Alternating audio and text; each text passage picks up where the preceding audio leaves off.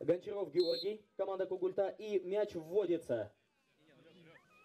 К сожалению, к сожалению, к сожалению, мяч, мяч за боковой линией. Борис, Саша, Борис. Один на один с вратарем. Ну, удар, гол! Один-один.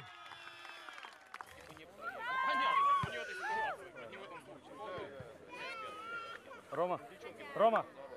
ну, в преддвериях чемпионата мира по обычному футболу, да, э, ну, как-то нужно э, завести народ России, э, чтобы э, чувствовалась спортивная атмосфера. Э, Значит, э, мы решили сделать Кубок мира по соломенному футболу из четырех с половиной тысяч тюков. Это построена арена. Вместимость, ну, если максимальная, человек 300, наверное, можно вместить здесь.